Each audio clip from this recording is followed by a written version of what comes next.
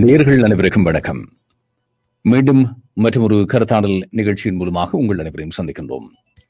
இன்றைய கருத்தாடல் நிகழ்ச்சியில் தொடர்ந்தும் இலங்கை நிலவரம் தொடர்பாகவே பேசிக் கொள்ளவிருக்கிறோம் இலங்கை விவகாரத்தை ஒட்டியதாக ஐக்கிய நாடுகள் மனிதருமை சபையினுடைய நாற்பத்தி எட்டாவது கூட்டத்தொடரின் போது இலங்கை உத்தரவில் ஏற்கனவே கொண்டுவரப்பட்டிருக்கக்கூடிய தீர்மானங்களை ஒட்டியதாக வாய் மூல அறிக்கை சமர்ப்பிக்கப்பட்டிருக்கிறது நேற்று செப்டம்பர் மாதம் பதிமூன்றாம் தேதி ஐக்கிய நாடுகள் மனிதமைகள் ஆணையாளர் மிஷல் பஷ்லட் அவர்கள் இந்த அறிக்கையை சமர்ப்பித்திருக்கிறார் இந்த அறிக்கையிலே சொல்லப்பட்டிருக்கக்கூடிய விடயங்களை உள்ளடக்கியதாகவே இன்று நாங்கள் பேசிக் கொள்ளவிருக்கிறோம் இவ்வாறு ஒரு அறிக்கை வரவிருக்கிறது இது ஒரு எழுத்து மூலமான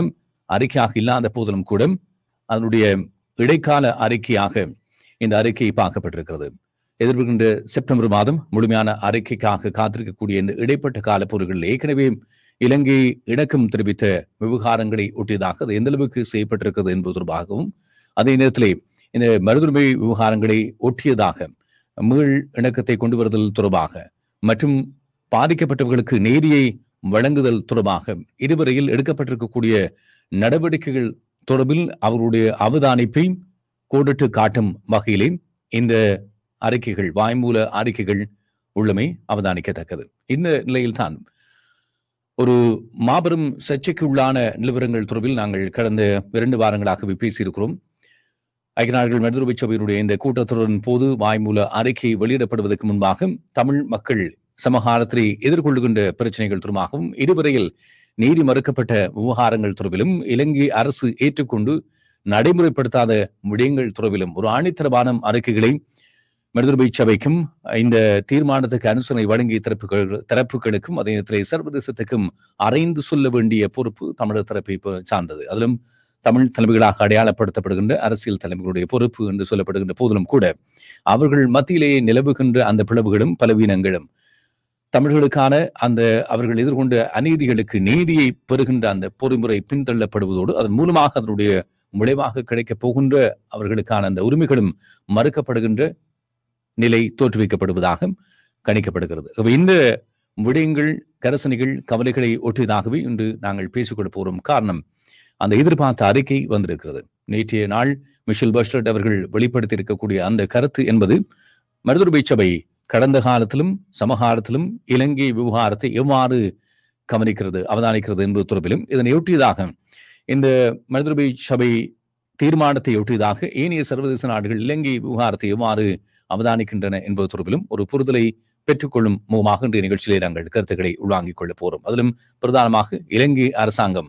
சர்வதேச நீதி பொறுமுறை என்பது சாத்தியமில்லை அதை ஏற்றுக்கொள்ள மாற்றோம் என்பதை மீளவும் இன்றைய தினம் உறுதி செய்திருக்கிறது பொது விவாதம் இடம்பெறுகின்ற பொழுது வெளியுறவு அமைச்சர் ஜி எல் பீரிஸ் அவர்கள் இதனை உறுதிபட தெரிவித்திருக்கிறார் அவையும் இந்த விடயங்கள் தொடர்பில் நாங்கள் மேலதிகமாக பேசிக் கொள்ளும் எங்களுடைய கொழும்பு செய்தியாளர் மூத்த ஊடகவியலாளர் மற்றும் அரசு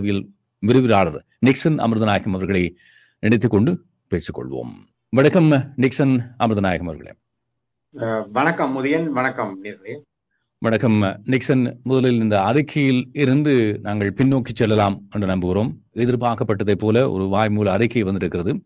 இது முக்கியத்துவம் இல்லை இது ஒரு சாதாரண சம்பிரதாயபூர்வமான நடைமுறை என்று தட்டி கழிக்கின்றவர்களும் இருக்கிறார்கள் இல்லை இனி வரப்போன்ற ஐக்கிய நாடுகள் மனிதர்பை சபை சார்ந்து நீதி பொறிமுறை சார்ந்து வரப்போகின்ற நகர்வுகளுக்கு முன்னோடியாக இந்த அறிக்கைகள் வலிமை சேர்க்கும் என்று சொல்லுகின்றவர்களும் இருக்கிறார்கள் இந்த நிலையிலே இப்பொழுது முஷல் பஷ்ரட் அவர்கள் வாசித்திருக்கக்கூடிய அந்த மொழி மூல அறிக்கை தொடர்பில் உங்களுடைய அவதானிப்பு பார்வையின இது முக்கியத்துவம் இல்லை என்று சொல்பவர்கள் இருக்கிறார்கள் அல்லது ஜெனீவாவிலே எது நடக்க போகின்றது எதுவுமே நடக்காது என்று சொல்பவரும் இருக்கிறார்கள் அது எல்லாம் சரி பொதுவாக சர்வதேச அமைப்புகள் எதுவுமே பாதிக்கப்பட்ட தேசிய இனம் ஒன்றுக்கு அல்லது நாடொன்றுக்கு நீதியை பெற்றுக் கொடுத்ததாக வரலாறு நிலை இது எல்லோருக்கும் தெரிந்த ஒன்று அரசியல் விஞ்ஞானம் படிக்கிறது மாணவன் அதை தெளிவாக சொல்லுவார் அது ஒன்று ஆனால் நாங்கள் எதை பார்க்க வேண்டும் என்றால் ஒரு பக்க சார்பாக வரக்கூடிய நிலைமை என்பது அதாவது ஒரு அரசு சார்ந்து அரசை காப்பாற்றுகின்ற வேலை திட்டம் என்பது இது நான் நினைக்கிறேன் உங்களுடைய நிகழ்ச்சியிலே இது தொடர்பாக பல தடவை நாங்கள் இதை பற்றி பேசியிருக்கின்றோம் இங்கே நான் பார்க்கின்ற ஒரு விடயம் ஒரு மாற்று விடயம் என்னென்றால் கடந்த மார்ச் மாசம் இதே ஆணையாளர் வெளியிட்ட அறிக்கையிலே இலங்கை மீது பலகாரமான குற்றச்சாட்டு என்பதை விட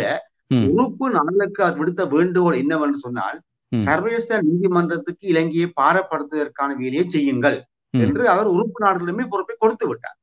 இந்த கோட்சாஸ் என்று சொல்லுகின்ற இந்த இலங்கை தொடர்பாக ஆராய்கின்ற கருக்குழு நாடுகளிடமே அந்த பொறுப்பை கொடுத்திருந்தார் அப்ப ஆறு மாதங்களின் பின்னதான இந்த வாய்மொழி அறிக்கையில் இது ஒரு மீளாய்வு கூட்டம் தான் சொல்லப்படுகிறது எந்த கூட்டமாக இருந்தாலும் ஆறு மாதத்திலேயே அந்த முன்னர் சொன்ன அறிக்கைக்கு மாறாக அதிலே குறிப்பிட்ட எதுவுமே இல்லாமல் இதிலே வெறுமனே இலங்கை தொடர்பான ஒரு மக்களுடைய சாதாரண இலங்கை மக்களுடைய மனித உரிமை பிரச்சனை அடிப்படை உரிமை பிரச்சனை என்ற அடிப்படையில் இந்த கருத்தை வெளியிட்டிருக்கிறார் இங்கேதான் கேள்வி நடக்கிறது எப்படி என்றால் ஆணையாளர் ஆறு மாதங்களுக்குள்ளே எப்படி அதை மாற்றிக்கொண்டார் என்பது ஒன்று அடுத்தது இரட்டை நிலைப்பாட்டை எடுக்கிறார் ஒன்று கோத்தபா ராஜபக்ச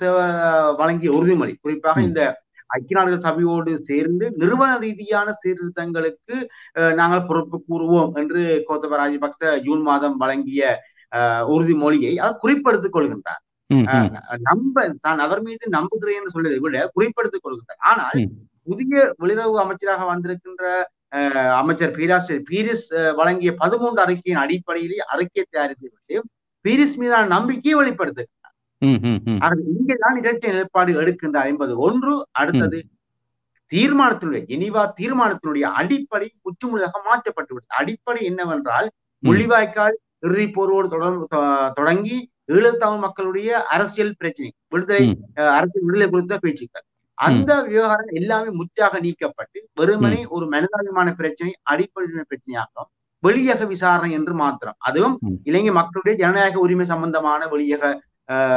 விசாரணை தான் என்று ஒரு மொட்டையாக சொல்லுகிறார் ஆக இங்குதான் சந்தேகம் வருகின்றது ஏதோ ஒரு வகையிலே புவிசார் அரசியல் நோக்கத்தோடு ஜெனிவா மனிதமை சபை இலங்கையை தங்கள் பக்கம் ஈர்ப்பதற்கான இலங்கையை சமாளித்து போகக்கூடிய இலங்கையை தாஜா பண்ணுகின்ற ஒரு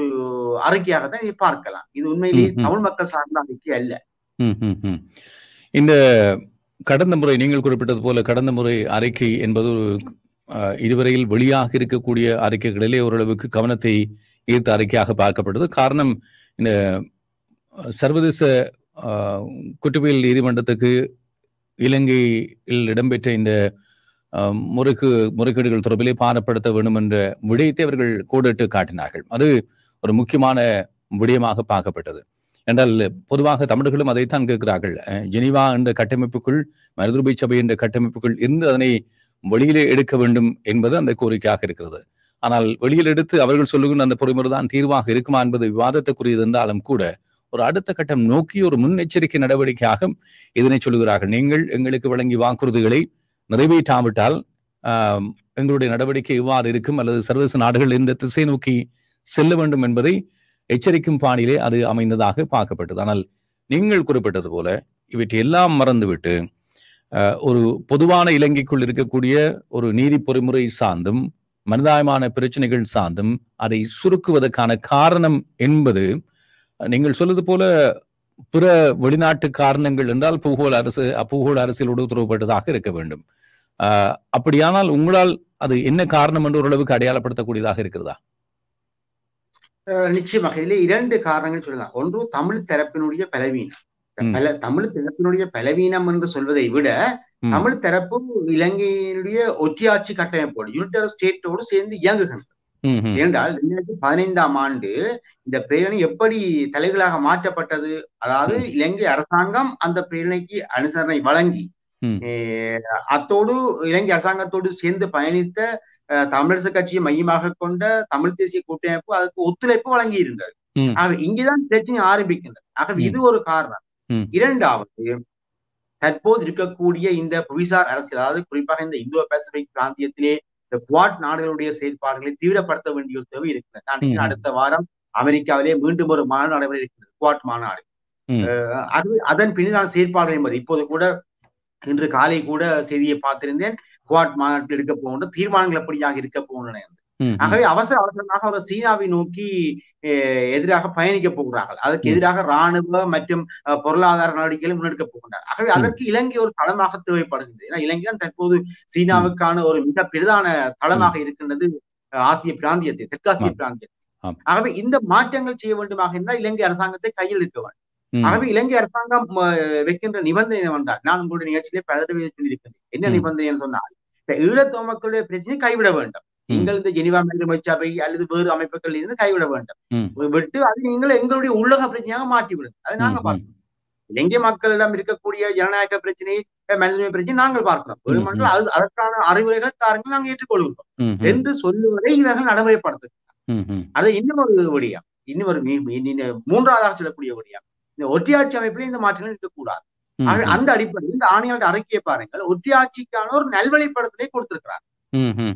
ஒத்தியாட்சி கட்டமைப்பை மாற்றுவதற்கான எந்த ஒரு தீர்மானம் இல்லை இது கடந்த ரெண்டாயிரத்தி பன்னிரெண்டாம் ஆண்டுல இருந்து இந்த ஆண்டு மார்ச் மாசம் வரை வந்த தேர்தலில் கூட பதிமூன்றாம் திருத்தி சட்டம் தான் தீர்வினுடைய முன்னோடியாக சொல்லப்படுகின்றது ஆகவே அங்கே கூட ஒற்றியாட்சியை நாங்க மாற்ற மாட்டோம் என்ற செய்தியை சர்வேசம் இலங்கையை கொடுத்திருக்கின்றது ஆகவே இதன் காரணங்களாகத்தான் இந்தியா மனித சபை இப்படியான ஒரு வேலுத்தத்தை ஈடுபடுகின்றது என்பது வெளிப்படையாகவே தெரிகின்றது ஆகவே இது முற்று முழுதாக ஒரு புவிசார் அரசியலின் நோக்கமாக கொண்டதாகத்தான் இருக்கிறது உண்மையிலே சர்வதேச நீதி என்பது பாதிக்கப்பட்ட மக்களுக்கு எப்படி கிடைக்கும் என்றால் அது அந்த நேர சூழல் இருக்கக்கூடிய புவிசார் அரசியல் தன்மையை பொறுத்தது என்பது பொதுவாக சொல்லக்கூடிய ஒரு விடயம் அந்த அடிப்படையில் இந்த புவிசார் அரசியல் நகர்வுகளோடு போட்டி போடக்கூடிய கூடிய எல்லையிலே தமிழர்கள் இல்லை அப்ப இதனை விட எவ்வாறு தமிழர்களுடைய பலவீனம் இதிலே ஒரு மாற்றத்தை கொண்டு வரும் என்று நீங்கள் நினைக்கிறீர்கள் என்றால் அவர்கள் தேசிய நலன்கள் சார்ந்து அரசுகள் இயங்குகின்ற பொழுது அவர்கள் இன்னொரு அரசோடு விட்டு கொடுத்து அல்லது பேரும் பேசலுக்கு உட்பட்டு நகர்ந்து செல்ல முற்படுகின்ற பொழுது ஒரு அரசும் இல்லாமல் பொருளாதார வலுவும் இல்லாமல் அரசியல் வலுவும் இல்லாமல் இருக்கக்கூடிய தமிழக தரப்பு இந்த இவ்வாறான ஒரு பொது கட்டமைப்பினுடைய நிலைப்பாடுகளை எவ்வாறு மாற்றி அமைக்க முடியும் என்று நீங்கள் நினைக்கிறீர்கள் மாற்றியமைத்திருக்கலாம் இது தமிழ் தரப்பினுடைய பலவிய தமிழ் தரப்பினுடைய எப்படியை சேர்க்க வேண்டும் என்று சொன்னால் பொதுவாக இந்த ஜெனிவா மனிதமைச்சவில் நாங்கள் பார்க்க வேண்டும் நான் முன்னரும் இந்த நிகழ்ச்சியிலே விளங்கப்படுத்திருக்கிறேன் ஜெனிவாவில் ஒரு பத்து அமைப்பு திட்டங்கள் இருக்கின்றன அதாவது ஒவ்வொரு நாடுகளுடைய பிரச்சனைகளை அல்லது ரெண்டு நாடுகளுடைய பிரச்சனை அல்லது மூன்று நாடுகளுடைய பிரச்சனை எப்படி கையாள்வது என்ற சில சிஸ்டம் இருக்கு அந்த அஜெண்டா பத்து அமைப்பு பத்து அம்சங்களை வைத்திருக்கிறார் தற்போது இலங்கை பிரச்சனை பார்ப்பீர்களாக இருந்தால் இது ஒரு தேசிய விடுதலை போராட்டம் சார்ந்தது இன விடுதலை போராட்டம் சார்ந்தது என்பதால் நீங்கள் ஆரம்பமாக அவர்கள் தங்களுடைய அஜெண்டா டென்லே கொண்டு கூட்டுக்கிறாங்க அந்த இரண்டிலே அந்த பிரச்சனை இருக்கின்ற பொழுது அரசுக்கு அரசு என்ற approach state to state approach தான் இங்கே எடுக்கப்படும் பாதிக்கப்பட்ட இனம் சார்பாக குரல் கொடுக்கக்கூடியவர்கள் இந்த கோச்சியாஸ் எனப்படுகின்ற கருக்குழு நாடுகள் தான் குரல் கொடுக்கும்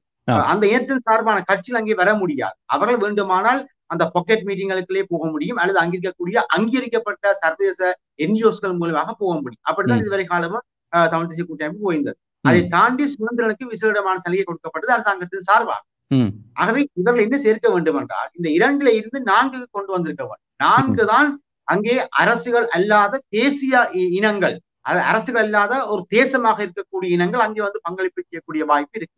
ஆகவே தமிழர்கள் தங்களை முதலில் ஒரு தேசமாக வெளிப்படுத்தியிருக்கவன் அதாவது இலங்கை உத்தியாட்சி கட்டமைப்பில் இருக்கின்ற தேர்தலிலே போட்டி போடாமல் ஒரு தேசிய இயக்கமாக இரண்டாயிரத்தி ஒன்பதாம் ஆண்டின் வெளியான சூழலே ஆயுத போராட்டம் இல்லாத ஒழிக்கப்பட்ட சூழலே இதனால் தேசமாக நின்று அகிம்சை வழியை அறவழி போராட்டம் நடத்தியிருக்க வேண்டும் அப்படி செய்யவில்லை அப்படி அறவழி போராட்டமாக நின்று செய்து அந்த குரலை கொடுத்திருந்தால் நிச்சயமாக இந்த சர்வதேச அமைப்புகள் இதை ஜெனிவா மேதமன் சபையிலே அஜெண்டா நாளுக்குள்ளே கொண்டு வந்திருப்பார் அப்படி கொண்டு வந்திருந்தால் எங்கள் சார்பான அங்கே போகக்கூடிய வாய்ப்பு இருந்தது அப்படி இருந்திருந்தால் அங்கே இருந்து வழங்குகின்ற அழுத்தங்களுக்கு இலங்கை சவிசாய்க்கவில்லை என்று கூறி அங்கிருந்து நாங்கள் ஐக்கிய நாடு சபையினுடைய பாதுகாப்பு சபைக்கு பாரப்படுத்தி இருக்கலாம்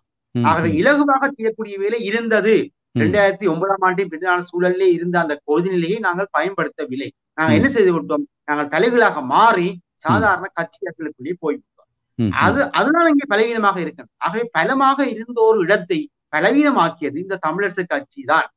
அதை முன்னெடுத்து கொண்டு அதற்கு எதிராக முன்னெடுத்து கொண்டு வந்த தமிழ் தேசிய மக்கள் முன்னணியும் இரண்டாயிரத்தி இருபதாம் ஆண்டு இரண்டு நாடாளுமன்ற உறுப்பினர்களை வைத்துக் கொண்டு அதையும் அவர் சரியாக செய்யாமல் அவர்களும் அந்த சாதாரண தேர்தல் அரசியலுக்குள் ஈடுபட்டதன் காரணமாக தமிழ் மக்களை ஒரு தேசமாக வெளிப்படுத்த அவர்கள் தவறிவிட்டார் ஆகவே இன்று கூட சந்தர்ப்பம் இருக்கின்றது நாங்கள் ஒரு தேசமாக நின்று வெளிக்காட்டுவோமாக இருந்தால் நிச்சயமாக அஜெண்டா நாளுக்குள்ளே எங்களுடைய பிரச்சனை போகக்கூடிய வாய்ப்பு இருக்கும் அதற்கான புவிசார் அரசியல் சூழலும் இருக்கின்றது நாங்கள் அதை பயன்படுத்தாமல் அல்லது ஒற்றியாட்சியை ஏற்றுக்கொண்டு அல்லது சிங்கள புத்திஜீவிகளுடைய நம்பிக்கைகளை ஏற்றுக்கொண்டு அல்லது அமெரிக்க இந்திய நாடுகளுடைய உறுதிமொழிகளை நம்பிக்கொண்டு அவர்களுக்கு பின்னால் போகின்ற பக்குவத்தை தான் எங்கள் தமிழ் தரப்பு செய்யும் நீங்கள் குறிப்பிட்ட இந்த விடயத்தின் அடிப்படையில் நாங்கள் தொடர்ந்து ஏற்கனவே பேசப்பட்ட அல்லது விவாதிக்கப்படுகின்ற சர்ச்சைக்குரிய பல விடயங்கள் தொடர்பில் தான் நாங்களும் கருத்துக்களை பகிர்ந்து கொள்ள வேண்டிய தேவை இருக்கிறது என்றால் இந்த தமிழ் தரப்பினுடைய பலவீனம் அல்லது அவர்கள் தமக்குள் தாமே பிணக்களோடு தொடர்கின்ற ஒரு சூழ்நிலை என்பது தமிழர்களை ஒட்டுமொத்தமாக இனமாக பலவீனப்படுத்தி கொண்டு செல்கிறது என்பதை பற்றி பல முறை நாங்கள் பேசியிருக்கிறோம் அண்மைய நிகழ்வுகளை பார்க்கின்ற பொழுது இந்த வை கூட்டத்தொடர் நாற்பத்தி எட்டாவது கூட்டத்தொடர் வரப்போகிறது பதிமூன்றாம் தேதி செப்டம்பர் பதிமூன்றாம் தேதி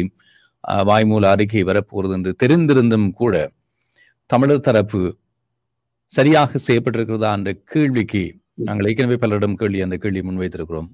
உங்களுடைய பதில் என்ன உடவிலாளராக உண்மையிலேயே சரியான பதிலை முன்வைக்கவில்லை சரியாக ஒன்று சேரவில்லை சரியாக திட்டமிடவில்லை இவர்கள் கடந்த மார்ச் மாதம் மனித உரிமை சபை நடைபெறப் போகின்றது என்று செப்டம்பர் மாதமே நாங்கள் அது பற்றிய விடயங்களை எல்லாம் வெளிப்படுத்தி இருந்தோம் பல ஊடகங்கள் பல அரசியல் ஆய்வாளர்கள் தங்களுக்கு வெளியிட்டிருந்தார்கள் நான் ஒரு விடயத்தை குறிப்பிட்டிருந்தேன் உங்கள் நிகழ்ச்சியிலும் அதை கூறியிருந்தேன் எழுதியிருந்தேன் எப்படி என்றால்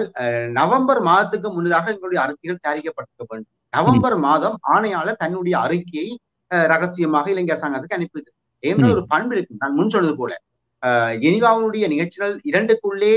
ஒரு நாட்டினுடைய பிரச்சனை இருக்குமாக இருந்தால் அந்த நாட்டினுடைய பிரச்சனை தொடர்பாக ஆணையாளர் எந்த அறிக்கை எடுக்கின்ற பொழுது அல்லது எந்த தீர்மானம் எடுக்கின்ற பொழுது அது பற்றிய ஒரு நகலை குறித்த அரசாங்கத்துக்கு அனுப்பி வைக்க வேண்டும் கிட்டத்தட்ட மூன்று மாதங்களுக்கு முன்னதாக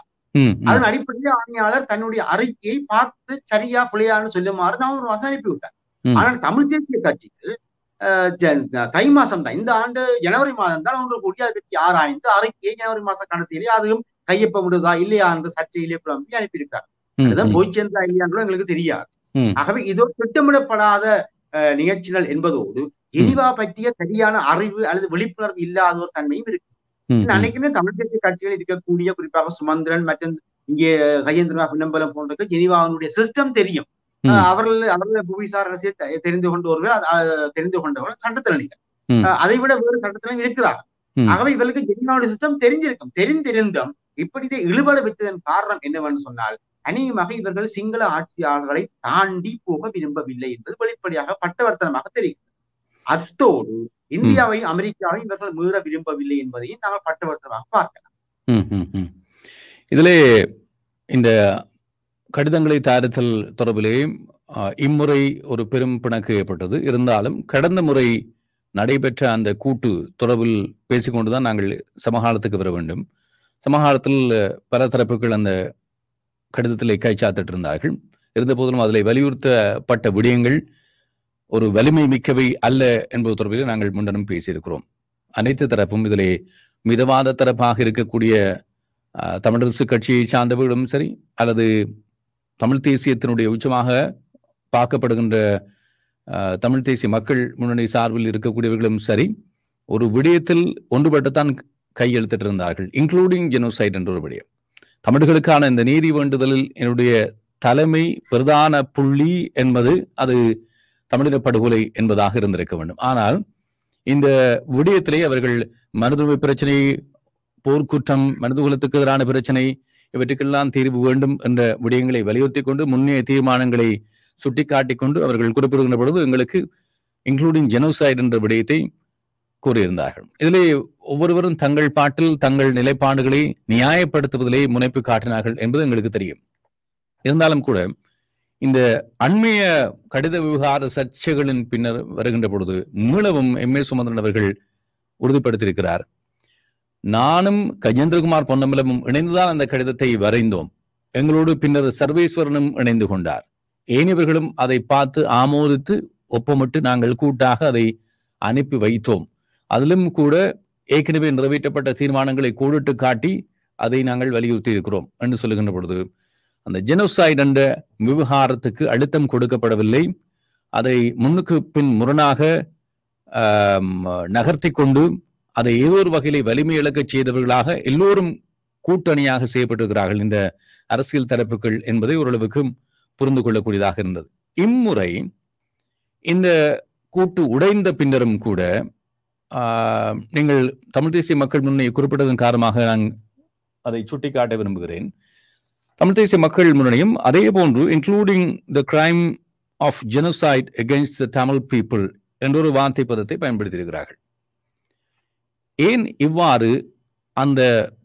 தமிழின படுகொலை என்பது பின்னோக்கி செல்ல வேண்டும் இந்த கோரிக்கைகள் நினைக்கிறேன் இந்த கஜேந்திரகுமாரோடு சேர்ந்து தான் தயாரித்ததாக சுமந்திரன் சொன்ன அந்த கதை தொடர்பாக இதுவரையும் தமிழ் தேசிய கூட்டமைப்பு அதிகாரபூர்வமாக மறுப்பை தெரிவிக்கவில்லை அவர்கள் அந்த நேரத்திலே அப்படி சேர்ந்து செயல்பட்டார்கள் என்பது தொடர்பாக நாங்களும் பேசியிருந்தோம் எழுதியிருந்தோம் உணர்ச்சியில் அதை பற்றி கருத்தும் இருந்திருந்தோம் ஆகவே அதே உண்மைத்தன்மை இருக்கின்றது தமிழ் தேசிய மக்கள் முன்னணி இந்த இடத்திலே ஏன் பின்வாங்குகின்றது என்பது என்று சொன்னால் இதுதான் பிரச்சனை அதாவது இந்த தேர்தல் அரசியலுக்குள்ளே அவர்கள் இறங்கி விட்டார் தேர்தல் அரசியலை தாண்டி ஒரு தேசமாக மக்களை வெளிப்படுத்துகின்ற அறவழி போராட்டத்தை தயாரிக்கின்ற நடத்துகின்ற அளவில் அவர்கள் தயாராக இல்லை என்பது வெளிப்படையாக தெரிகிறது மக்கள் தேசமாக நிற்கின்ற பொழுது ஜெனிவா மனிதமைச்சப்பால் எதுவுமே செய்ய முடியாது நிச்சயமாக அது இயல்பாகவே அந்த அஜெண்டா நாளுக்குள்ளே வந்துவிடும் இலங்கை அரசு தொடர்பான குற்றச்சாட்டுகள் அஜெண்டா நாளுக்குள்ளே வந்துவிடும் ஆனால் மக்கள் சார்பான பிரதிநிதிகள் தேசமாக தம்மை வெளிப்படுத்தாமல் அல்லது ஒரு தேசிய இயக்கமாக வெளிப்படாமல் சாதாரண தேர்தல் அரசியலுக்குள்ளே நின்று கொண்டு எந்த அரசோடு முரண்படுகிறாங்களோ அந்த அரசனுடைய ஜாப்புக்கு அமைப்பான தேர்தல்களில் ஈடுபட்டு கொண்டு அந்த அரசனுடைய நாடாளுமன்றத்தில் அங்கம் வைத்துக் கொண்டு உரிமை பற்றி பேசுவதாக இருந்தால் அது சாதாரண மனித பிரச்சனையாக அடிப்படை உரிமை பிரச்சனையாக ஜனநாயக பிரச்சனையாக பார்ப்பதே தவறு இருக்கார் அதை இனிவா செய்கின்றனர் ஆகவே இந்த திருஷ்டத்துக்குள்ள இருந்து வெளியேற கஜேந்திரகுமாரும் விரும்பவில்லை என்பது வெளிப்படையாக தெரிகிறது அநேகமாக அவர்கள் இரண்டு ஆசனங்களை பெற்றுவிட்ட பின்னர் கடந்த ஆண்டு ஆகஸ்ட் மாதம் இடம்பெற்ற தேர்தலில் அவர் இரண்டு ஆசனங்களை பெற்றுவிட்ட பின்னர் அந்த செயற்பாட்டுக்கு அவர் இயல்பாகவே வந்து விட்டார் அதற்கு முந்தான நிலையிலே அவர்கள் தங்களை தேசமாக வெளிப்படுத்தா விட்டாலும் மிக ஆக்ரோஷமாக தமிழ் தேசம் என்பதையும் இனப்படுகொலை என்பதையும் ஒரு நாடு இரு தேசம் என்பதையும் வெளிப்படையாக பேசியிருந்தார்கள் தற்போது அவர்கள் சுமந்திரன் போன்ற அந்த சமாந்திரமான செயற்பாடுகளை வருகின்றார்கள் ஆனால் வெவ்வேறுபட்ட அணுகுமுறையாக வருகின்றார்கள் சுமந்திரன் வெளிப்படையாக சிங்கள ஆட்சியாளரோடு கைகோர்த்து வந்தார் இவர்கள் மறைமுகமாக கைகோர்த்து கொண்டு அல்லது கைகோர்க்காமலேயே இளைஞருடைய சிஸ்டத்தை அங்கீகரித்துக் கொண்டு போகக்கூடிய அளவுக்கு வருகின்றார் ஆகவே இதான் இங்கே பிரச்சனை ஆகவே இவர்களை தாண்டி தேர்தல் அரசியல் கட்சிகளை தாண்டி மக்கள் தாங்களாக எழும்பி ஒரு தேச இயக்கமாக ஒரு தேசியமாக மக்கள் வெளிப்படுத்துகின்ற பொழுது இவர்களால் எதுவுமே செய்ய முடியாது என்று அநேகமாக நான் நிற்கின்றேன் அடுத்தடுத்த சந்தர்ப்பங்களில் மக்கள் இயல்பாகவே தங்களை தேசமாக வெளிப்படுத்த வேண்டிய சந்தர்ப்பங்கள் வரலாம் ஆனால் அதை தடுக்கின்ற வகையிலே தான் சில நெட்வொர்க்குகளை சிங்கள ஆட்சியாளர்களும் இந்தியா அமெரிக்கா போன்ற நாடுகளும் யாழ்ப்பாணம் மட்டக்கிழப்பு போன்ற பிரச்சனைகளை நோக்கி முன்வைத்துக் கொண்டு வருகின்றன ம்ஹ்ம். இதிலே நீங்கள் குறிப்பிட்டது போல, இது மக்கள் இந்த விடயம் சார்ந்த ஒரு புரிதலை, விழிப்புணர்வை பெற்று, அவர்கள் இந்த அரசியல் தலைமைகளுக்கு அழுத்தம் கொடுக்கின்ற ஒரு செயற்பாடு எந்த அளவு எந்த அளவுக்கு சாத்தியம் என்பது ஒரு கேள்விக்குரிய விடயம். என்றால் ஒரு கடித கடிதம் இவ்வாறு வரையப்பட வேண்டும், அந்த கரைய கடிதத்திலே என்ன கோரிக்கை முன்வைக்கப்பட வேண்டும் என்ற ஒரு விடயம் வருகின்ற ஒரு ஒருவர் ஒரு இப்போ என்ஜினியராக ஒரு பொறுப்பை பெற்றுக்கொள்ள வேண்டும் வேலை வாய்ப்பை பெற்றுக்கொள்ள வேண்டும் பொறியியலாளராக என்றால் அவர் தன்னுடைய அந்த ரிசுமியில் இலங்கையிலே பயோடேட்டா பயோடேட்டா என்று சொல்வீர்கள் ரிசுமியிலே அவர்கள் குறிப்பிடுகின்ற பொழுது தன்னுடைய தகமை என்ன தான் என்ன தொழிலை செய்ய விரும்புகிறேன் என்பதுதான் அவருடைய பிரதான குறிப்பாக இருக்கும் அதை விட அவருக்கு என்னென்ன தகவல்கள் இருக்கின்றன ஏனைய விடயங்களை என்னென்ன செய்ய முடியும் என்ற இதர தகவல்களை அடுத்தடுத்த பின்னோக்கிய வரிகளிலே பயன்படுத்துவார்கள் இதுதான் அந்த பொது விதி இது ரெசுமையிலிருந்து நாங்கள் ஆரம்பிக்கலாம் அப்படி இருக்கின்ற பொழுது ஜெனிவாவுக்கு கடிதம் எழுதினால் என்ன அல்லது ஐக்கிய நாடுகள் பொதுச்சபைக்கு கடிதம் எழுதினால் என்ன பாதுகாப்பு சபைக்கு கடிதம் எழுதினால் என்ன தமிழ் மக்களுக்கு என்ன வேண்டும் என்ற கோரிக்கைக்கு ஒற்றை தான் இருக்கிறது பிரதானமாக ஒன்று அரசியல் தீர்வு காண கேள்வி ஆனால் இந்த இப்போது இருக்கக்கூடிய பிரச்சனை என்பது நீதி பொறுமுறை அது தமிழின படுகொலைக்காக ஒரு இன அழிப்பு நடைபெற்றது அதற்கான நீதி என்று வருகின்ற பொழுது இவர்கள் ஒவ்வொருவரும் தனித்தனியாக ஒவ்வொரு கோணங்களிலே கருத்துக்களை சொல்லிக் கொண்டிருக்கிறார்கள் மேடைகளிலே முழங்கி தள்ளுகிறார்கள் என்றாலும் கூட இருந்தாங்கள் இந்த மனிதரிமை ஆணையாளர் இந்த மூன்று நான்கு பக்கங்கள் மூன்று பக்கங்களிலே வெளியிட்டிருக்கக்கூடிய இந்த அறிக்கையிலே ஒரு பொதுமைப்படுத்தப்பட்ட நலிவடைந்த ஒரு அறிக்கையாக இருக்கிறது இது அதனுடைய அடுத்த கட்டமாக அவ்வாறு இருக்க போகிறது என்று நாங்கள் கேள்வி கேட்கிறோம் தமிழ் அரசியல் தலைமைகளிடம் இந்த கேள்வியை யார் கேட்பது யார் அதுக்கு வழி நடத்துவது சிவில் சமூக கட்டமைப்பு இல்லை அது உடைந்து விட்டது அது இரண்டு மூன்று முறை அதுக்கான எழுச்சியை சாத்தியப்படுத்த முறைந்தது தோற்று போயிருக்கிறது புத்துஜீவிகள் என்ற ஒரு கட்டமைப்பு கூட இல்லை அவர்கள் ஒவ்வொரு தொழில்களுக்கு சென்று விட்டார்கள் அல்லது அரசியல் பக்கம் தலைகாட்ட அவர்கள் விரும்பாத ஒரு நிலை வந்துவிட்டது அரசியல் அவதானிகள் கருத்தாளர்கள் என்று சொல்லப்படுகின்றவருடைய எண்ணிக்கை குறைந்திருக்கிறது அடுத்தடுத்த தலைமுறைகளிலே புதிய தலைமுறைகளிலே ஊடகவியலாளர்கள் மட்டத்திலும் எண்ணிக்கை குறைவு அல்லது அதை முழுமையாக தொழில்களாக அதனை செய்ய முடியாத எண்ணிக்கை நிலை ஏற்பட்டிருக்கிறது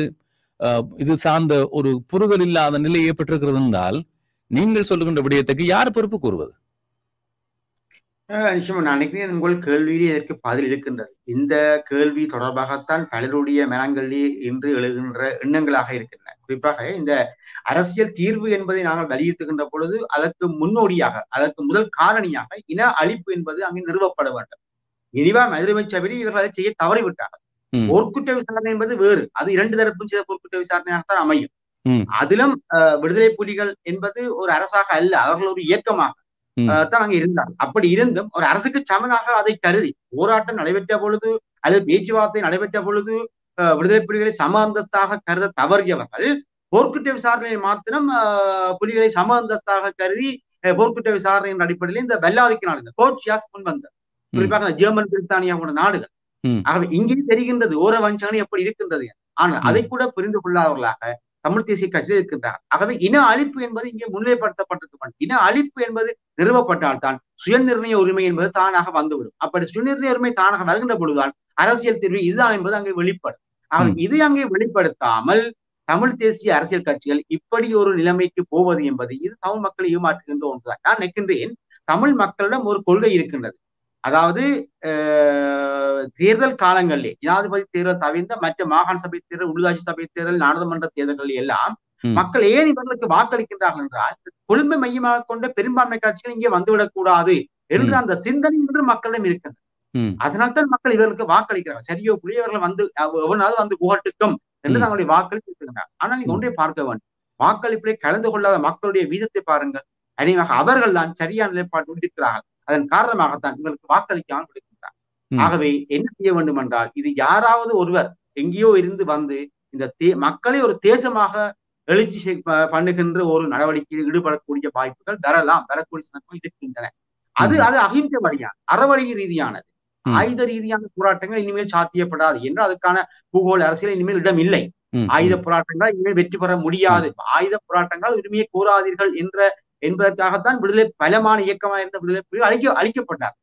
ஆகவே அதன் பின்னரான சூழலே உலகில் எங்குமே ஆயுத போராட்டம் ஆரம்பிப்பதற்கு வாய்ப்பே இல்லை ஆகவே அறவழியான ஒரு போராட்டத்தை நடத்துகின்ற பொழுது அதனை சர்வதேசம் ஏற்றுக்கொள்ள வேண்டிய தேவை வரும் ஆகவே அந்த அடிப்படையிலே மக்கள் தான் இனி இயல்பாக இந்த தங்களை தேசமாக வெளிப்படுத்துகின்ற நிலைமைகளை வரல வர வேண்டுமே தவிர இனிமேல் அரசியல் கட்சிகள் அல்லது சிவில் அமைப்புகள் அல்லது ஊடகங்கள் கூட நான் முன் சொன்ன ஒரு பதிலோடு வருகின்றேன் நீங்கள் சொன்ன அந்த கேள்வியை குறிப்பிட்ட விடயங்களை தடுக்கின்ற உத்தியோடு தான் தமிழ் அரசியல் கட்சிகள் மூலமாகவும் ஊடக சில தமிழ் ஊடகங்கள் மூலமாகவும் சிங்கள ஆட்சியாளர்களும் இந்தியா அமெரிக்கா போன்ற நாடுகளும் சில நெட்ஒர்க்களை செய்து கொண்டு வருகிறார் எங்களை இந்த உத்தியாட்சி அமைப்புக்குள்ளே சேர்ந்து வாழ பழகுகள் என்ற அந்த பிராக்டிஸை அவர்கள் ஏதோ ஒரு வழியிலே கொண்டு வருகின்றார் அதற்குள்ளே பலர் உடங்கி விட்டார்கள் ஆனால் அதையும் தாண்டி வரக்கூடிய மக்கள் இருப்பார்கள் ஆனால் நிச்சயமாக மக்கள் தேசமாக வாய்ப்பு இருக்கும் அதன் பின்னான சூழலில் இனிவா மேதவி சபை அல்ல பாதுகாப்பு சபையில் ஐக்கிய சபை கூட நிச்சயமாக இந்த ஈழத்தமிழ் பிரச்சனையிலே மாற்றங்களை கொண்டக்கூடிய வாய்ப்பு பெறலாம் ஆனால் மக்கள் இயல்பாக எழக்கூடிய புரட்சி அல்லது அந்த அறவழி போராட்டத்தை ஆரம்பிக்கும் நிலைமை என்பது தற்போதைக்கு வரக்கூடிய வாய்ப்பு இருக்குதா என்பதை நாங்கள் பொறுத்திருந்தால் பார்க்க இதில் நீங்கள் சொன்னது போல மக்கள் மத்தியில் இருந்து ஒரு மாற்றமான சிந்தனை அல்லது அறவழி சார்ந்து அகிம்சை சார்ந்து அவர்கள் செய்யப்பட முன் வருவார்கள் என்ற ஒரு விடயத்தை சொல்லியிருக்கிறீர்கள் அது எந்த தூரம் சாத்தியம் என்பது எனக்கு தெரியவில்லை அது சில வழிகளில் மிகைப்படுத்தப்பட்ட ஒன்றாக கூட இருக்கலாம் அதற்கு நான் இருக்கிறேன் தமிழரசு கட்சியிலிருந்து ஒருவர் சொன்ன வாக்கியம் இந்த வாரத்தில் சொன்ன விடயத்தை சுட்டிக்காட்ட விரும்புகிறேன்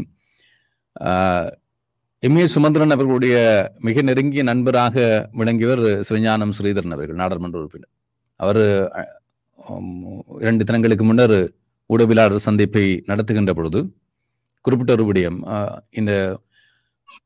ஜெனிவாவுக்கு கடிதம் அனுப்புகின்ற விடயத்திலே ஏன்னா சம்பந்தன் அவர்கள் காய்ச்சாத்தட்ட விடயம் தொடர்பிலே அவர்கள் கேள்வி எடுக்கின்ற பொழுது கேள்வி கேட்கப்படுகின்ற பொழுது அவர் குறிப்பிடுகிறார் சம்பந்தன் அவர்கள் பொய்க்கொடியை ஏற்றுவார் க கையிலே வைத்து ஏந்துவார் ஆனால் யாரும் கேட்டால் அது காளியனுடைய கொடி என்று சொல்லுவார் அதை தமிழ் மக்கள் நம்புவார்கள் அவர்கள் கேள்வி கேட்க மாட்டார்கள் இதுதான் இன்றைய மக்களுடைய நிலை அவை இந்த கடித விவகாரத்துக்கும் அவரிடம் பதில் இருக்கும் அதையும் மக்கள் ஏற்றுக்கொள்வார்கள் என்ற ஒரு விடயத்தை அவர் சொல்லியிருக்கிறார் இந்த விடயங்களுக்கு மத்தியிலே இப்பொழுது நாங்கள் தமிழரசு கட்சி நிலவரம் தொடர்பாக பேசிக்கொண்டு ஒவ்வொரு கட்சிகளுடைய நிலைப்பாடு தொடர்பாக கவனிக்கலாம் இந்த கடுத விவகாரத்திலே ஸ்ரீதரன் சிவஞானம் தலைமையில் ஒரு குழு கடிதம் அனுப்ப முற்பட்டது நாங்கள் கையெழுத்து போட்டோம் ஆனால் நாங்கள் அனுப்பவில்லை என்று அவர்கள் சொல்லுகிறார்கள் அவை கையெழுத்து போட்டது அவ்வாறு ஒரு கடிதம் தயாரிக்கப்பட்டது உண்மை ஆனால் அனுப்பவில்லை என்று சொல்லுகிறார்கள் இது எந்த அளவுக்கு உண்மை இது இது தொடர்பாக பல குழப்பமான கருத்துக்கள் இருக்கின்றன தமிழ் தேசிய கட்சிகளுடைய செயற்பாடுகளை பார்த்தால் குழந்தை பிள்ளைத்தனமாக இருக்கின்றது ஆனால் முகநூலிலே இந்த நெட்டிசன் என்று சொல்லப்படுகின்ற அந்த இணைய வழி கருத்தாளர்களை பார்க்கின்ற பொழுது மிக அழகாக தமிழ் மக்களுடைய பிரச்சனையை எழுதுகின்றார்கள் ஊடகவியலாளர்கள் அல்லாத அரசியல் ஆய்வாளர் அல்லாத சாதாரண மக்கள் அல்லது ப்ரொஃபஷனலாக வேறு தொழிலில் இருக்கக்கூடிய டாக்டர்ஸ் இன்ஜினியர்ஸ் தங்களுடைய ட்விட்டரிலும் முகன் பேஸ்புக்கிலும் எழுதின கருத்துக்களை பார்த்தால் அவர்களிடம் இருக்கக்கூடிய அந்த அறிவு தமிழ் தேசிய கட்சியிடம் இல்லை என்பது ஒன்று இல்லை என்பதை விட அவர்கள் இந்த சிஸ்டத்துக்களே வாழ விரும்புகிறார்கள் என்பதைத்தான் அங்கே காட்டுகின்றனர் ஆனால் இந்த கடித விவரம் தொடர்பாக எனக்கு எந்த விதமான நம்பிக்கையும் இல்லை ஒருவர் நகைச்சுவையாக எழுதியிருந்தார் முகநூலே இவர் அனுப்பிய கடிதங்கள் எதுவும் ஜெனிவாக்கு போய் சேரவில்லை அதற்கு கீழே ஒருவர் பதிவிட்டிருந்தார் இவர்கள் எழுதிய கடிதத்திலே ஜூவிலே தங்களுடைய முகவரியையும் ஃப்ரோமிலே ஜெனிவா மனிதனுடைய முகவரியையும் போட்டு விட்டார்கள் அதன் காரணமாகத்தான் அக்கடிதம் முழுவதும் இங்கே வந்துவிட்டது என்ற மாதிரியான நீங்கள் நீங்கள் அப்படி சொல்லியிருந்தாலும் கூட பொதுவான ஒரு கருத்து இருக்கிறது இந்த கட்சிகளை பொறுத்தவரையிலே இந்த கடிதங்கள் எல்லாம் தமிழ் மக்களை திருப்திப்படுத்துவதற்கான தயாரிப்பு வேலைகளை தவிர இந்த கடிதங்களை அவர்கள் அங்கே அனுப்புவது நோக்கமல்ல அல்லது இந்த கடிதங்கள் மூலமாக அவர்களுக்கு அழுத்தம் கொடுப்பது நோக்கமல்ல தமிழ் தேசிய கூட்டமைப்பை பொறுத்தவரையிலும் கூட தாங்கள் ஒரு தனித்துவமான பிறந்திகள் தமிழ் மக்களுடைய ஏகு பிறந்திகள் என்ற அடிப்படையிலே ஒரு அடையாளத்தை பதிப்பிக்கும் முகமாக அவர்கள் ஏதோ ஒரு வகையிலே அந்த கடிதங்களை அனுப்ப முற்படுகிறார்கள் ஏனைய தரப்புகள் எங்களுக்கு வெளியிலே சொன்னதை போல பிரதிகளை கையளித்தது போல உண்மையில் அந்த கடிதங்களை கையளித்தார்களா என்பது ஒரு கேள்வியான விடயம் என்று சொல்லியிருக்கிறார்கள் ஆனால் இந்த தமிழரசு கட்சி கடித தயாரிப்பு விடயத்திலே முன்னர் ஏனைய கட்சிகளோடு இணைந்து பயணித்தது மாவை சிநாதராஜா அவர்களும் கூட்டத்திலே கலந்து கொண்டார் ஆனால் எம் ஏ சுமந்திரனும் இராசமந்தனும் தனியாக ஒரு அறிக்கையை தயாரித்து அதன் பின்னர் இராசமந்தன் அவர்கள் அனுப்பி வைத்து விட்டார் என்று சொல்லப்பட்ட விவகாரத்தை பொறுத்தவரையிலே அந்த கூட்டமைப்பு கட்டமைப்பு இப்பொழுது இந்த மட்டத்தில் இருக்கிறது இந்த விவகாரத்தை அவர்கள் அணுகிய அந்த செயல் தொடர்பில் உங்களுடைய ஊடுவிலாளராக உங்களுடைய கருத்து என்ன சுருக்கமாக சொல்லுகின்றேன் ஆணையாளருடைய அறிக்கைக்கு பாராட்டு தெரிவித்திருக்கிறார்கள் தமிழ் தேசிய மக்கள் மணியை தவிர தமிழரசு கட்சி பாராட்டி இருக்கின்றது குறிப்பாக தமிழ் தேசிய கூட்டமைப்பு பாராட்டுகிறது விக்னேஸ்வரன் பாராட்டி இருக்கின்றார் ஆனால் ஒரு விடயத்தை எனக்கு சொல்ல முடியும் தெளிவாக தமிழரசு கட்சிக்குள்ளே சுமந்திரனை தவிர அனைவருமே இந்த நாங்கள் முன்வைக்கின்ற குற்றச்சாட்டுகளை ஏற்றுக்கொள்வராக இருக்கிறார் ஆனால் அதை தாண்டி தமிழரசு கட்சியை தாண்டி அதாவது சுமந்திரனை தாண்டி சுமந்திரனுடைய நடவடிக்கைகளை தாண்டி வெளியே வந்து தமிழரசு கட்சியை தனியாக கட்டமைக்கக்கூடிய அதாவது தமிழ் தேசிய கூட்டமைப்பை தனியாக கட்டமைக்கக்கூடிய அந்த கட்ஸ் அந்த பலம் இல்லாதவர்களாக இருக்கிறார்கள் குறிப்பாக நான் நினைக்கின்றேன் இந்த அறிக்கையை சுமந்திரன் பாராட்டிய பொழுது அதற்கு எதிராக கூட கருத்தை வெளியிடாமல் இருக்கின்றால் ஸ்ரீதரன் போன்றவர் நான் நினைக்கிறேன் தனிப்பட்ட முறையை தொலைபேசியில் எடுத்து ஸ்ரீதரனிடம் கேட்டால் இனிமே மதிய உச்சவை ஆணையரோட அறிக்கையை நிச்சயமாக கார்த்தாரமாக ஏசுவார் அதே போன்ற நிலைதான் விக்னேஸ்வரன் ஆணையிலும் இருக்கின்றன ஆனால் விக்னேஸ்வரன் ஒரு லவத்துக்கு தமிழ் மக்களுடைய பிரச்சனை சொல்லவில்லைன்னு சொன்னாலும் ஆணையாளருடைய விடயத்தை பாராட்டியிருக்கிறார் முன்னணி எதுவுமே வாய் துறக்கவில்லை ஆகவே இவர்களுக்குள்ளே இருக்கக்கூடிய குழப்பங்கள் பற்றி இப்போது மக்கள் நன்றாக அறிந்து விட்டார்கள் ஆனால் என்னவன் சொன்னால் இன்னமும் சரியான அந்த அரசியல் விழிப்புணர்ச்சி இந்த பொலிட்டிக்கல் அவேர்னஸ் என்பது இன்னமும் சாதாரண அடிமட்ட தமிழ் மக்களுக்கு இல்லை என்பதை நாங்கள் இங்கே பார்க்கக்கூடியதாக ஒன்று இரண்டாவது இன்னொரு காரணம் தமிழ் மக்களை பொறுத்தவரை நான் முன் சொன்னது போல ஏதோ ஒரு வகையிலே தேர்தல் வந்தால் இந்த கட்சிகளுக்கு வாக்களிக்க வேண்டும் என்ற அந்த உணர்வோடு இருக்கின்றார் அதாவது ஒரு அடிப்படையான கொள்கை ஒன்று இருக்கின்றது தமிழ் தேசியம் சார்ந்த கொள்கை இருக்கின்றது குறைந்தபட்சம் இருக்கின்றது அந்த அந்த உணர்வை தான் இவர்கள் பயன்படுத்தி கொண்டு தேர்தலை வெற்றி பெற்றுக் கொண்டு தங்களை ராஜாக்களாக காண்பிக்கிறார்கள் ஆகவே மக்களுடைய அடிமனதை மாற்றங்களை ஏற்படுத்த வேண்டுமாக இருந்தால் இனிமேல் ஊடகங்கள் அந்த பணியை செய்ய வேண்டும் ஆனால் ஊடகங்களிலும் மெயின் ஸ்ட்ரீம் மீடியா சொல்லப்படுகின்ற இந்த பிரதான ஊடகங்கள் பிரதான அச்சு ஊடகங்கள் அந்த பணியிலிருந்து தவறுகின்றன கிட்டத்தட்ட சுமந்திரனை போன்ற சுமந்திரன் சொல்லுகின்ற விடயத்தை அல்லது சுமந்திரனை எதிர்த்தே எழுதாமல் இருக்கக்கூடிய அளவுக்கு நினைக்கிறேன் என்று சுமந்திரன் போன்றவர்களை எதிர்த்து எழுதக்கூடியவர்கள் இணையதளத்தில் இருக்கக்கூடிய செய்தியாக தான் இருக்கிறார்கள் மெயின் ஸ்ட்ரீம் மீடியாக்களே அநேகமாக இல்லை யாழ்ப்பாணத்திலிருந்து வருகின்ற ஒன்று ரெண்டு பத்திரிகைகளை தவிர தேனிய பத்திரி எல்லாமே சுமந்திரனை தாஜா பண்ணுகின்ற அல்லது சுமந்திரன் சொல்லுகின்ற சொல்லுகின்றவற்றை அல்லது ஒரு கணிசமான அளவு சுமந்திரனோடு எதிர்த்து போகின்ற பண்பை தான் பின்பற்றுகின்றார் ஆகவே இந்த முடக்க நிலைக்கான காரணங்கள் வெளிப்படையாக தெரிந்த இடத்திலே மக்கள் தான் இதை சிந்திக்க வேண்டும் அல்லது அதற்கு இன்னும் ஒருவர் எழுந்து வர வேண்டும் அதற்குரிய வாய்ப்புகள் இல்லாமல் இல்லை என்று நாங்கள் சொல்ல முடியாது இந்த கடித தயாரிப்பு விவகாரத்திலே இந்த அளவுக்கு பலவீனப்பட்டிருக்கிறார்கள் போன முறை அவர்கள் கூட்டாக கையெழுத்திட்டது போன்ற ஒரு நடைமுறை சாத்தியப்படவில்லை என்ற போதிலும் கூட எதிர்காலத்திலே இந்த விடயத்திலே ஒற்றுமை வருவதற்கான வாய்ப்பு இருப்பதாக நீங்கள் நினைக்கிறீர்களா நிச்சயமாக இந்த வாய்ப்பு இருப்பதாக தெரியவில்லை ஏனென்றால் கடந்த முறை சரியோ புலியோ ஒரு கூட்டாக அறிக்கையை கொடுத்தாங்க அது என்ன சொன்னார்கள் ரிபிள் ஐஎம்எம் சொல்லப்பட்டிருந்தது இனோசைட் சொல்லப்பட்டது ஆனால் இந்த முறை வாய்மூல அறிக்கையிலே அது அந்த குறிப்பு எதுவுமே எடுக்கப்படவில்லை தானே ஆக இந்த கடிதம் போய் சேர்ந்ததா அல்லது சேர்ந்தாலும் இது ஒரு கட்சியினுடைய கடிதம் இதை நாங்கள் எடுக்க முடியாது என்று மனித சபை தவற விட்டதா பல கேள்விகள் இருக்கு அல்லது உங்கள் முன்னர் பேசியது போல அஜெண்டா ஐட்டம் இரண்டுக்குள்ள இருப்பதனால் இது ஸ்டேட் டு ஸ்டேட் அப்ரோச் அரசும் அரசும் பார்க்கின்ற பிரச்சனை நீங்களே சொல்ல முடியாது ஒரு கட்சியாக நீங்கள் கேட்க முடியாது என்று ஆணையாளர் அதை புறந்தளி விட்டாரா நிச்சயமாக இருக்கிறது இன்று வரை பாருங்கள் எந்த ஒரு அரசியல் கட்சி தலைவர்கள் ஈவன் கஜேந்திரகுமார் பொன்னம்பலம் கூட தாங்கள் கடந்த ஜனவரி மாதம் அனுப்பின இந்த கடிதத்துக்கான பதில் என்ன என்று இதுவரையும் கேள்வி கேட்கவில்லை ஆணையாளரை அல்லது கொழும்பில் இருக்கக்கூடிய கோட்சியாஸ் கருக்குள் நாடுகளுடைய பிரிவில் இருக்கிறார் கொழும்பில் அவர்களையும் அவர்களிடம் கூட ஒரு கேள்வியை கேட்கவில்லையே இதிலே நான் நினைக்கிறேன் எம் எஸ் சுமந்திரன் அவர்கள் குறிப்பிட்ட ஒரு விடயத்தை இங்கே சுட்டி காட்டலாம் அவர் ஏனியவர்களை சாடுகின்ற பாணியிலே ஒரு விடயத்தை சொல்லியிருந்தாலும் கூட சில வீடுகளிலே அதுதான் உண்மையாக இருக்கும் போல தோன்றுகிறது நீங்கள் உங்களுடைய கருத்தை சொல்லுங்கள் அவர் அந்த ஊடகவியலாளர் நாற்பது நிமிடம் அளவில் வழங்கிய ஊடகவியலாளர் சந்திப்பின் போது இந்த கடிதங்கள் எல்லாம் ஒன்றுமே செய்ய போவதில்லை அவர்கள் அரசியல் கட்சிகளுடைய கருத்துக்களை ஏற்றுக்கொள்வதே இல்லை கவனத்தில் எடுப்பதே இல்லை சிவில் சமூக பிரதிநிதிகள் ஏனைய மனதுரிமை அமைப்புகள் என்ஜிஓஸ் என்று சொல்லப்படுகின்ற தரப்புகளுடைய கருத்துக்களைத்தான் அவர்கள் ஆராய்வார்கள் பொது தரப்புகள் என்று அடையாளப்படுத்துகின்றவர்களுடைய கருத்துக்களைத்தான் உள்வாங்கிக் கொள்வார்கள் அதன் காரணமாகத்தான் தென்னிலங்கையிலே இருக்கக்கூடிய ஒரு சிங்கள அமைப்பால் தயாரிக்கப்பட்டிருக்கக்கூடிய ஒரு அமைப்பினுடைய அறிக்கை நாங்கள் எங்களுடைய அந்த கடிதத்திலே இணைப்பது தொடர்பில் தீர்மானித்தோம் என்று ஒரு விடயத்தை சொல்கிறார் ஏனைய விடயங்கள் எல்லாம் இந்த கடிதம் எழுது அரசியல் கட்சிகள் கடிதம் எழுதுகின்ற விடயங்கள் எல்லாம் அது தமிழ் மக்களை திருப்திப்படுத்துகின்ற ஒரு விடயம் என்பதை அவர் சுட்டிக்காட்டினார் ஆனால் அப்படி சொல்லுகின்ற பொழுது நாங்கள் அப்படி அல்ல நாங்கள் அன்று தொட்டு இரண்டாயிரத்தி பன்னிரெண்டாம் ஆண்டு காலப்பகுதியிலே முதலாவது தீர்மானம் கொண்டு வரப்படுகின்ற காலப்பகுதிகளிலிருந்து இன்று வரைக்கும் தமிழ் தேசிய கூட்டமைப்பு சார்பாக இராசம்பந்தன் அவருடைய கடிதத்துக்கு ஒரு மதிப்பு இருக்கிறது அவர் நடுநிலைமையோடு ஒரு பொது தரப்பாக இருந்து நியாயமான கோரிக்கைகளை அவர் முன்வைக்கிறார் என்பதன் காரணமாக அவர்கள் இதனை மதிக்கிறார்கள் அதன் காரணமாக தான் நாங்கள் ஒரு சிங்கள தரப்பாக இருக்கக்கூடிய ஒரு தரப்பினுடைய அறிக்கையும் அதில் உள்ளடக்க வேண்டும் என்று தீர்மானித்தோம் என்ற ஒரு வாதத்தை அவர் முன்வைத்திருக்கிறார் அப்ப இந்த ஏனைய தரப்புகள் அரசியல் கட்சிகளுடைய கடிதங்கள் ஒரு பொருட்டே அல்ல இது மக்களை தீர்மானிக்கின்ற மக்களை திருப்திப்படுத்துகின்ற ஒரு செயற்பாடு என்று அவர் குறிப்பிட்டிருக்கிறார் இது தொடர்பில் உங்களுடைய கருத்தையும் பதிவு செய்யுங்கள் நான் அந்த நேர்காணலை முழுமையாக பார்த்திருந்தேன் ஊடகவியலாளராக அந்த நேர்காணல் பற்றி அல்லது நேர்காணல் கண்ட செய்தியாளர் பற்றி நான் கூற விரும்பவில்லை அதிலே கேட்கப்பட்ட கேள்வி இல்லாமல் அவருக்கு இயல்பான அல்லது அவர் பதிலளிக்கக்கூடியதாக இல்ல நான் நான் அதே அதே அந்த அந்த அந்த சபையை சொல்லவில்லை இவர் ஊடகவியலாளர் சந்திப்பு தமிழரசு கட்சி சார்பிலே இவர்கள் நடத்திய நாற்பது நிமிட ஊடகவியலாளர் சந்திப்பு சந்திப்பிலும் கூட சந்திப்பிலும் கூட அவர் தெளிவாக சொல்லுகின்றார் அந்த ஊடகவியலாளர் சந்திப்பிலும் சொல்லுகின்றார் என்னவென்று சொன்னால் இதை அவரும் முட்டாளாகின்றார் அப்படியால் இந்த கூட்டங்கள் ஏன் நடத்தினீர்கள் என்று எந்த ஒரு கேள்வியும் செய்தியாக கேட்கவில்லை இந்த கடந்த மார்ச் மாசத்துக்கான கடித தயாரிப்பிலும் இந்த முறை கடித தயாரிப்பில் ஏன் நீங்கள் ஈடுபட்டீர்கள் என்று எவருமே கேள்வி கேட்கவில்லை என்பது அடுத்ததாக ஒரு விடயத்தை பார்க்க வேண்டும் அவர் அட்வொகேட் பண்ணுகின்றார் அவர் ஒரு சட்டத்திரணி அட்வொகேட் பண்ண நீதிமன்றத்தில் போய் நியாயப்படுத்துவது போல ஒரு ஒரு அரசியல் சமூகத்தினுடைய பிரச்சனை ஒரு சாதாரண சட்டத்தினுடாக அவர் பார்க்க முன்படுகின்றார் சர்வதேச சட்டங்களூடாகவும் உள்ளூர் சட்டங்களூடாகவும் ஒரு அரசியல் சமூகத்தினுடைய பிரச்சனையை பார்க்க முடியாது முதலில் அவர் அதை புரிந்து கொள்ளவில்லை இதான் இங்கே இருக்கக்கூடிய பிரச்சனை அதுல சொல்லுகின்றபடியும் நாங்கள் நடுவு நிலைமையாளர்களாக இருந்து கேள்வி கேட்க வேண்டும் அல்லது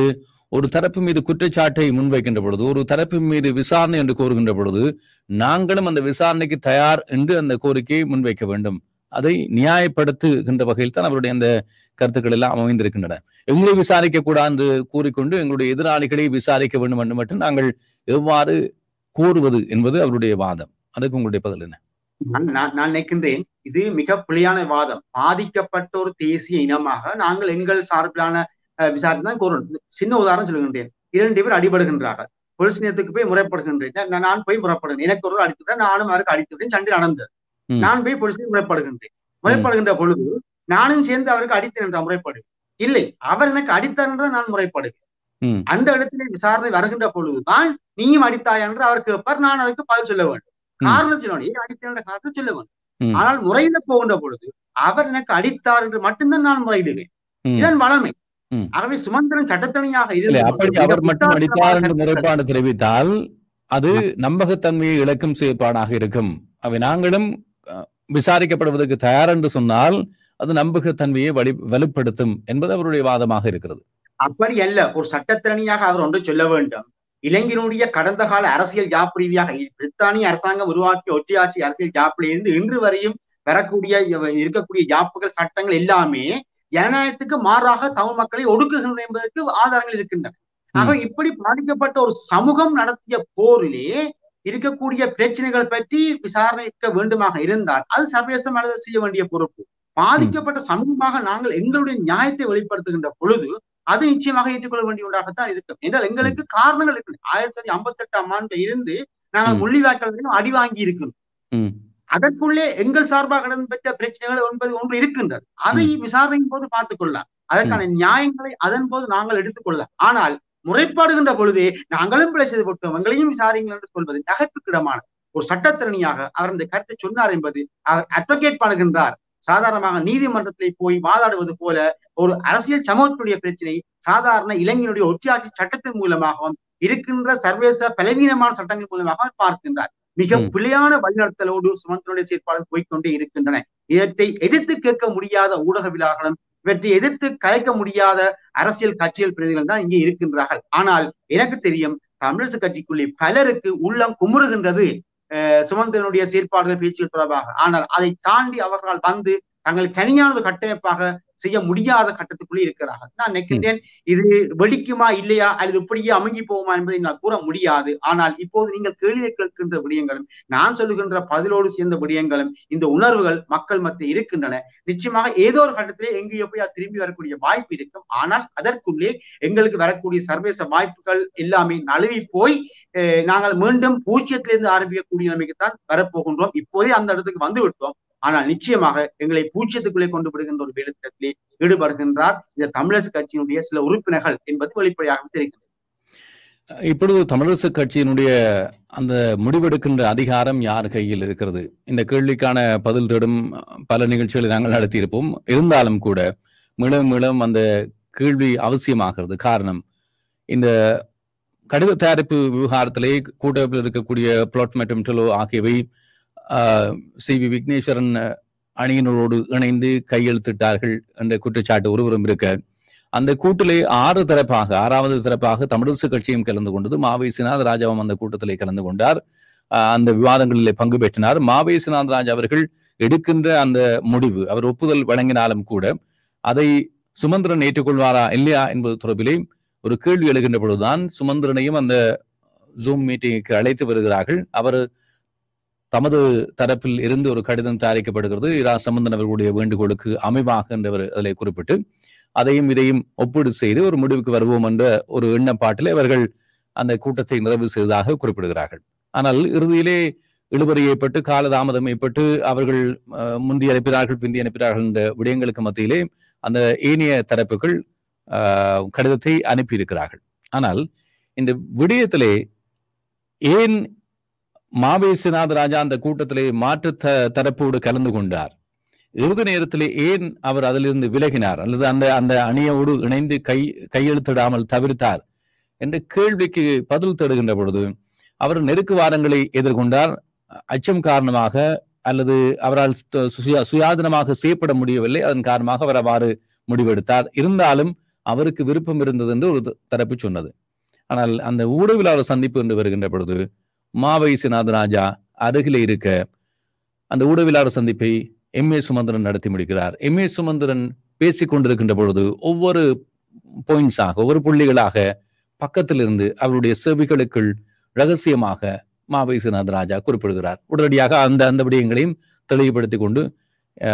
இவர் செல்வதை அவதானிக்கக்கூடியதாக இருக்கிறது இருவருக்கும் இடையிலான அந்த உறவு நிலை என்ன மாவேசுநாத் அவனுடைய நிலைப்பாடு என்ன இந்த விவகாரத்தில் என்ற கேள்விக்கு உங்களுடைய பதில் என்ன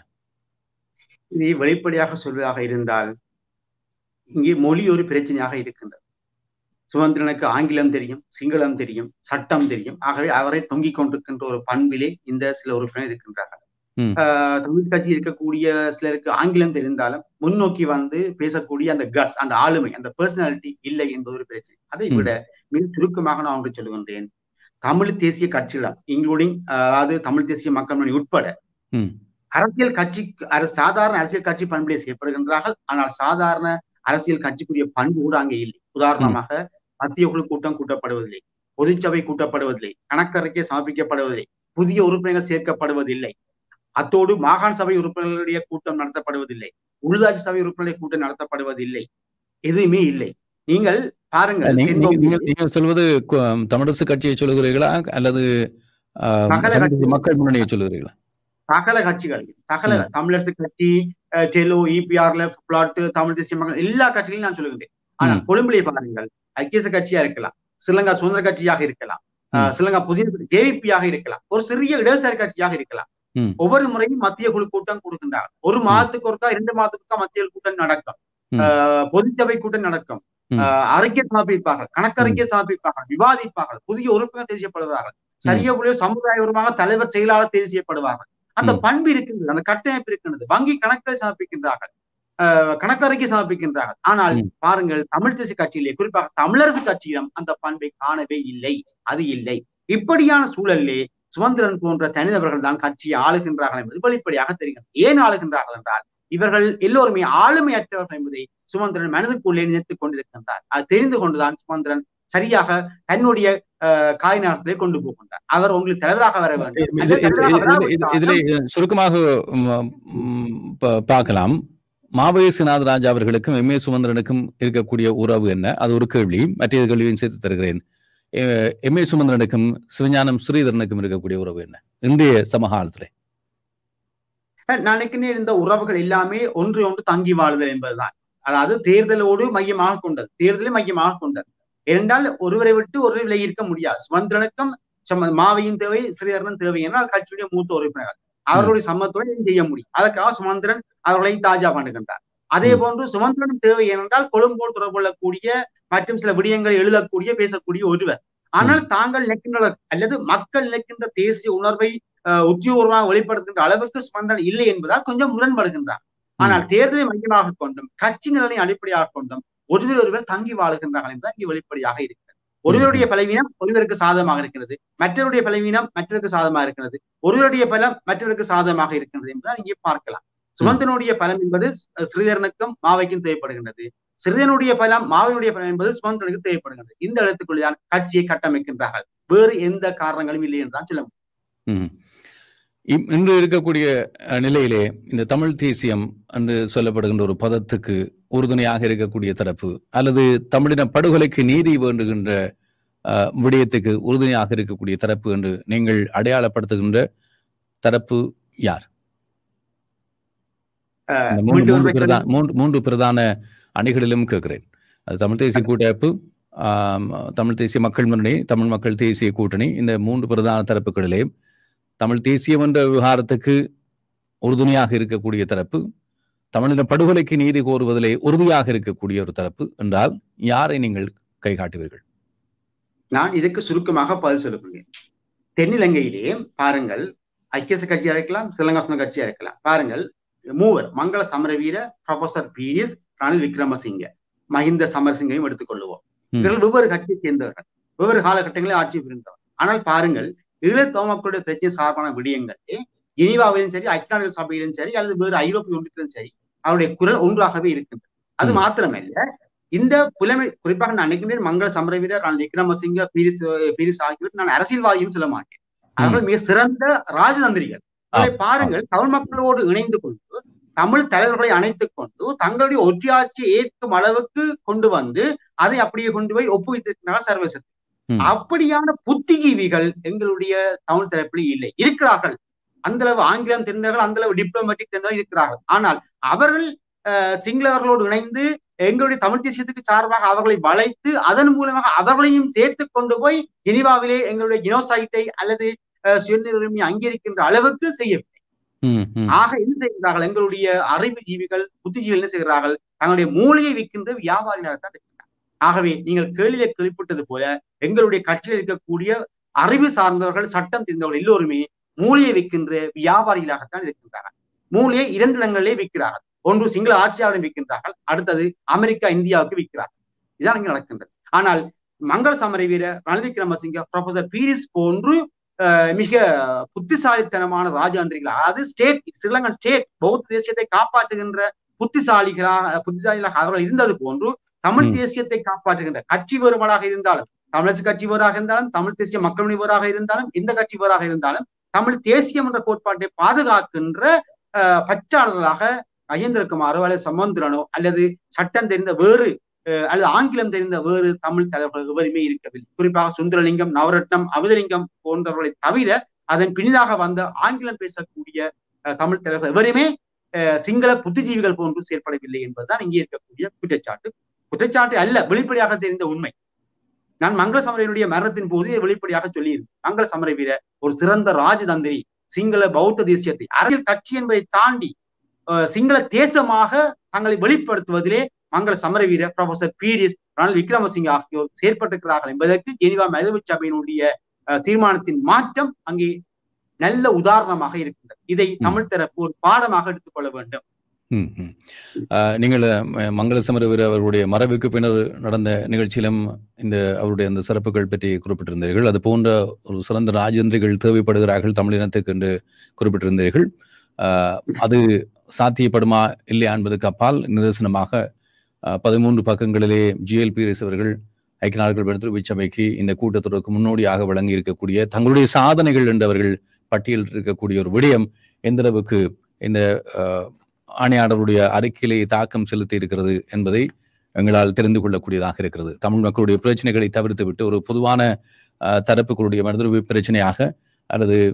நல்லிணக்க பிரச்சனைகளாக உரிமை பிரச்சனைகளாக ஜனநாயக பிரச்சனைகளாக அதனை நலிவடைய வைத்திருக்கிறார்கள் என்பது இப்பொழுது சமாதானத்தினுடைய இல்லை அவை ஏற்கனவே இலங்கை தொடர்பிலே இந்த பொறுப்புக்கூறல் தொடர்பில் நீதி பொறுமுறை சார்ந்து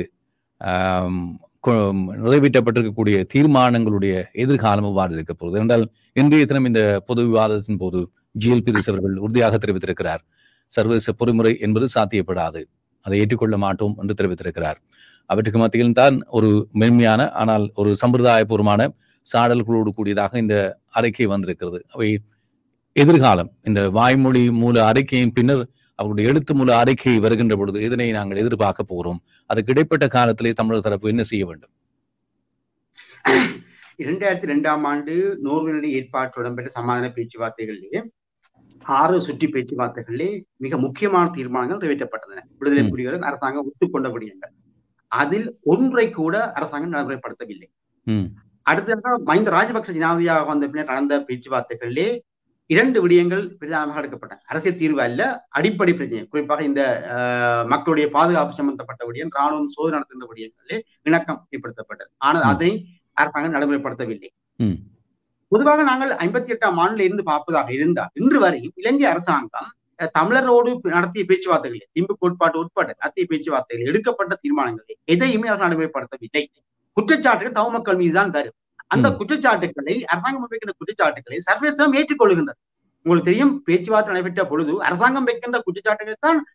சர்வேசம்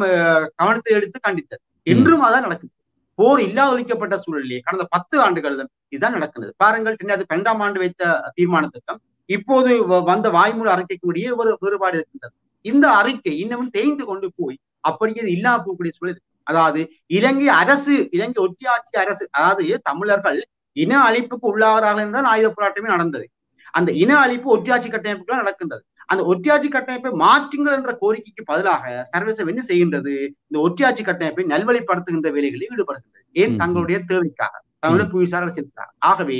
தமிழர்கள் என்ன செய்யலாம் என்றால் இந்த விடயங்களை இன்னமும் தெளிவாக வெளிப்படுத்த வேண்டிய அல்லது ஏதோ ஒரு வழியிலே எடுத்துரைக்க வேண்டிய தங்களை ஒன்றுபடுத்த வேண்டிய தேவை இருக்கிறது அதைத்தான் இனி செய்ய வேண்டுமே தவிர இனிமேல் இந்த பேச்சுவார்த்தை அல்லது சர்வதேச இந்த எரிவாயு விடயங்களை நம்பிக்கை வைக்க முடியாத பொழுதை காரணம் பட்டுவர்த்தனமாக தெரிகின்றது அரசாங்கம் எப்படி இலங்கை அரசாங்கத்தை எப்படி சர்வதேசம் ஏற்றுக்கொள்கின்ற போகின்றது அதற்கேற்ப ஈழத்தமிழ் மக்கள் பிரச்சனையை அப்படியே கைவிடக்கூடிய அல்லது தமிழ் மக்களை அமைதியாகி இந்த பதிமூன்றாம் தேதி சட்டத்தோடு அப்படியே இருங்கள் என்று சொல்லக்கூடிய அளவுக்கு வந்து விட்டார்கள் அதை தமிழரசு கட்சி முன்மொழிந்து கொண்டு இருக்கின்றது ஆகவே இனிமேல் தமிழ் மக்கள் சார்பாக தமிழ் மக்கள் யாராவது வர வேண்டும் அல்லது ஏதாவது சீரமைப்பு எழுப்ப வேண்டும் எழும்பி இந்த விடயங்களை சொல்லி அதன் மூலமாக ஒரு புதிய மாற்றத்தை கொண்டு வர வேண்டும் புதிய மாற்றம் என்பது தேசமாக எழுகின்றது மாத்திரமே அந்த தேசமாக எழுகின்ற வேலையைத்தான் இனிமேல் தமிழர் செய்ய வேண்டும் அது இல்லாத வரைக்கும் நாங்கள் எங்களுடைய பிரச்சனை இப்படியே தேய்ந்து கொண்டு போகிறது என்பதுதான் காணப்படும் நன்றி நெக்சன் அமிர்தநாயகம் என்ற நிகழ்ச்சியிலே கலந்து கொண்டு உங்களுடைய கருத்துக்களை பகிர்ந்து கொண்டு வைக்கும் எங்கள் பதில் தெரியாத வினாவோடு மீண்டும் ஒரு நிகழ்ச்சியை நிறைவுக்கு கொண்டு வருகிறோம் மீண்டும் மற்றொரு சந்தர்ப்பத்தில் பேசிக்கொள்வோம் நன்றி வணக்கம் நன்றி உதயன் நன்றி வணக்கம்